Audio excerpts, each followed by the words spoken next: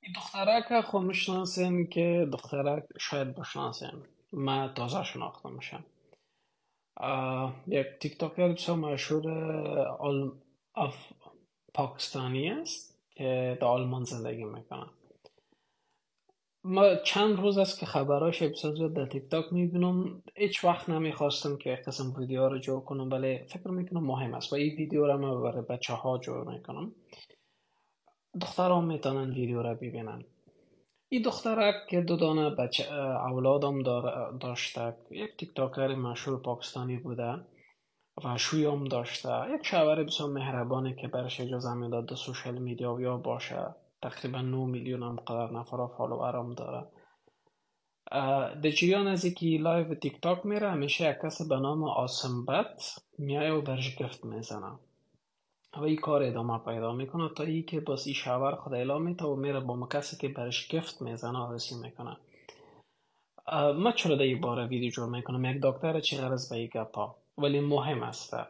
این یک چیز است که ما قصایش زیاد از بچه ها آمدن امروی ما قصای خودش شیر کردن. اما گریان های از او بچه هایی که یادم میایه درد گرفت قلب مرم و بسیار درد کرد. من گفتم باید من حتما دیواره جور کنم. اول بچه ها بر شما میگم. در زمان فعلی شاید گپای ما غلط باشه شاید هم راست باشه قبول نکنین ولی گوش کنین. دخترها مگه سرطان بدم می‌خورن شاید من وقت درک کنم که گپای مشتباس ولی تا امروز خصوصا بعد از دیدن این حادثه حدس می‌زنم که شاید گپایم دروغ نباشه. شاید غلط نباشم دختری که در سوشل میدیا میایه و گفت می‌خواه خیرات می‌خواه یا دختری که راسن پست می‌کنه و میگه که به ما پیسه رایی کنین یا دختری که من ویدیو یک دختر خانم یک چند روز پیش دیدم که سر دوست دخترتان خرج کنین من هم سر خانمتان خرج کنین. یک قسم گپا بیارم می‌زد او قسم دخترهایی که پیسه خور هستن ازش دور باشین.